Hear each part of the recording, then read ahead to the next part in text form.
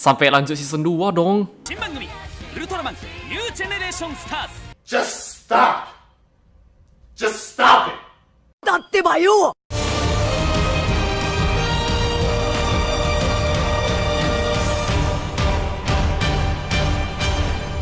Halo guys, kembali ke di Chandra dengan Ultraman New Generation Star Season 2. Pastinya recap dan ini udah jadi tradisi banget ya. Tujuannya buat isi time slot penayangan doang Daripada ntar 6 bulan gak ada Ultraman Pokoknya pas series Ultraman baru tamat, biasanya bakal ada series recap Bahkan sedikit berbeda dari 2 tahun kemarin Kan judul series recap itu beda-beda New Generation Chronicle, Chronicle Z Heroes Odyssey, Chronicle D Bedanya sekarang masih dengan New Generation Star tapi dibikin season 2 ya Konsepnya kurang lebih kayak Ultraman Red Student ke Shin Ultraman Red Student gitu. Menarik atau enggaknya ntar kita lihat. Untuk awal-awal pasti nonton sih. Jadi ini deh guys, Ultraman New Generation Star Season 2. Langsung aja check it out. Yang pertama sinopsis. Gak terlalu gimana banget ya. Kurang lebih begini. Mari kita telusuri catatan pertarungan Ultraman New Generation bersama dengan Yuka. Ilmuwan jenius yaitu Yuta Oka sedang menelusuri banyak pertarungan terkenal dari Ultraman New Gen yang penuh dengan semangat Ultra Pride. Melalui penelitian ini dia akan memperkuat storage yang telah melalui pertarungan bersama dengan Ultraman Z dan juga robot anti-monster storage yaitu Scavenger. Kemungkinan ya. Oke, jadi kalau kita udah baca nih secara ceritanya simple aja sih. Yuka penasaran sama Ultraman New Gen, pengen ngasih info lebih ke storage, bisa jadi pengen perkuat Scavenger kali. Sebenarnya dari preview YouTube ada yang bikin penasaran loh guys. Cuma herannya kok di sinopsis gak disinggung ya. Terus kalau kita bandingin sama sinopsis season pertama, yang kemarin jauh lebih bikin penasaran sih. Ada villain misterius, memori Ultraman menghilang. Walaupun setelah nonton sampai tamat gitu doang, malahan katanya gak canon loh. Yang season 2 kita lihat dah. Yang kedua, MC. Dari segi MC nih ada beberapa yang bikin penasaran ya.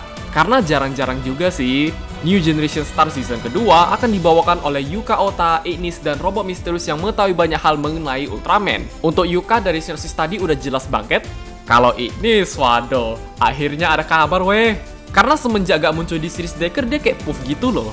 Sebenarnya Ignis lebih sering muncul di stage show sih. Cuma canon atau enggak kita gak tahu.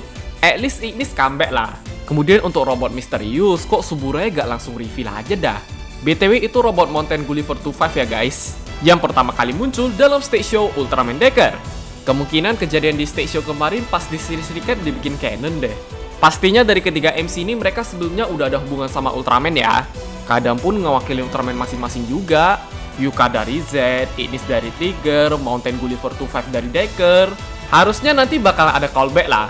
Yang ketiga, theme song judulnya Ultra Pride yang akan dinyanyikan oleh Yuka Ota bersama dengan Voyager. Yuka ikut nyanyi nggak tuh? Dari preview udah bisa denger dikit-dikit ya. Kayaknya bakalan bagus deh. Karena kalau kita udah sering denger lagu-lagu Ultraman dari Voyager, mereka ini udah punya ciri khas banget. Awal-awal mungkin harus dibiasakan, tapi setelah denger versi fullnya bagus loh guys. Kayak Stars, Ultrali, Unite, mantep dah. Yang keempat, Hyperkey baru. Ini dari komunitas kemarin banyak yang nanya juga ya. Itu Hyperkey apaan bang? Ternyata masih ada hubungan dengan Trigger, ada Hyperkey Storage sama Ergaron ya storage key tapi gambarnya malah Scavenger akan menjadi item utama dalam series recap kali ini. Kenapa sampai bisa bikin hyperkey baru harusnya gak jauh-jauh dari Ignis deh. Karena kalau kita lihat posternya, ini Ignis pegang blank key loh. Ibaratnya tinggal transfer data langsung bisa bikin hyperkey baru gitu. BTW Ignis dapat blank key dari mana? Perasaan di series Trigger kayaknya dia ambil tiga doang. Itu pun udah jadi Trigger Dark Horoboro sama Zygo ya. Kemudian berhubung nanti ada Memorial Edition God Lens, Hyperkey Storage sama Garon harusnya bakal dijual loh. Kurang lebih sama kayak Hyperkey Decker kemarin. Mau series lu tamatnya udah lama tetap bisa dibikin Hyperkey sih. Bandito cuan banget dah. Yang kelima, foam baru. Seperti yang gue bilang ini di Sinosis gak disinggung. Tapi herannya di preview ada dikasih tahu loh. Dia akan mendapatkan foam power up baru. Yang pastinya bikin penasaran dong, kira-kira siapa? Untuk sekarang cuma bisa tebak-tebakan doang ya guys. Bisa jadi Z, Trigger, Decker, atau Blazar. Gue curiganya bisa jadi yang dapat form baru Zero sih. Berhubung kemarin ada gambar konsep art Ultraman Zero dari Masayuki Goto, mungkin itu kali. Karena kalau kita mikirnya form baru untuk Ultraman lain siapa? Z dapat form baru gimana? Trigger, Decker mungkin lebih ke Dynasty kali. Jir, tuh form sampai sekarang gak ada kabar dong. Padahal di D-Flasher udah jelas banget. Eh, mana pula? Kalau Blazer mungkin lebih ke extra foam, tapi tetap gak berharap banyak sih guys. Baru dapat Fedora Armor udah dapat yang baru aja. Untuk sekarang chance yang paling gede Zero dah. Udah ini geng Kaiwan deh. Bener-bener gak ada batas, cok. Yang keenam, tidak ada villain baru. Kalau dari sinopsis memang gak ada villain baru ya. Jadi kadang berasa kayak Piro recap doang. Walaupun kalau ada villain baru pun gak expect banyak juga.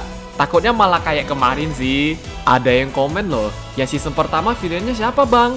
Udah di reveal nama villainnya Ediom, sebuah AI dari planet Lalim yang bertanggung jawab atas kejadian hilangnya ingatan para Ultraman. Tobatnya kalau nggak salah kena ceramah no jutsunya Zero ya. Pas tahu lebih banyak tentang Kizuna para Ultraman auto sadar gitu. Tobat dulu dah. Jadi untuk season 2 harusnya gak ada villain baru lah. Kalaupun ada curiganya Mountain Gulliver 25 sih guys. Dari Suburaya robot misterius gak tuh? Kayak dibikin sus banget. Ya ketujuh, Blazer termasuk Ultraman New Gen. Sebelum ada New Generation Star Season 2 pun udah kelihatan ya. Dari stage show apalagi? Malahan sering banget loh. Tapi dengan begini udah confirm sih, kalau Blazer akan termasuk sebagai Ultraman New Gen. Nambah terus, banyak bener. Yang awalnya kita kira bakalan stop sampai Ultraman Taiga deh. Eh ternyata lanjut terus. Sampai Z, Trigger, Decker, sekarang Blazer. Jadi kadang kayak berasa rame banget ya. Kenapa gak bikin tim baru aja? Bahkan kalau kita lihat dari sisi cerita, yang canon sekarang masih sampai Z doang loh. Kan di UGF TDC Z barengan sama Ultraman New tuh. Trigger Decker Blazer mana ada? Ketemu langsung aja belum. Jadi kalau mau lebih jelasnya lagi memang harus ketemu sih. Mungkin bisa dari UGF, spin-off, movie. Itu baru jelas banget. Yang kedelapan, tidak ada hubungan dengan series Ultraman baru. Maksudnya ini lebih kayak clue ya guys. Kan kalau kita flashback zaman-zaman recap dulu biasanya ada hubungan sama Ultraman baru tuh. Kayak Chronicle Z Odyssey ke Trigger, Chronicle G ke Decker, tapi semenjak ada New Generation Star ini kayak gak ada hubungan sama Blazer sih. Ceritanya aja kagak terhubung. Jadi bener-bener gak ketebak banget ya. Oh, next Ultraman baru nih kira-kira gimana? Mungkin ada hubungan sama Ultraman Zero kah? New Generation Heroes? Gaya? Jangan sampai pas nonton New Generation Star season kedua malah kepikiran sih. Ultraman baru kayaknya nanti gini-gini gini deh. Sumpah guys, kita kalau ingat-ingat yang kemarin terus bandingin sama yang sekarang jauh banget loh. Blazer ada hubungan sama Ultraman New Gen, Anniversary Ginga, mana ada weh. Tapi bagusnya lagi-lagi ini gak ketebak ya. Oke okay guys, ya just gitu aja untuk Ultraman New Generation Star season kedua. Cuma buat nambah time slot doang, sekaligus bisa sambil nunggu Ultraman baru lah. BTW sekarang belum ada trademark Ultraman baru, biasanya Desember gini ada loh. Rumornya udah ada sih, tapi bahasnya ntar dah. Pokoknya kalau ngikutin series recap balik ke kita sendiri, tertarik nggak? Kan kalau udah denger recap agak gimana ya?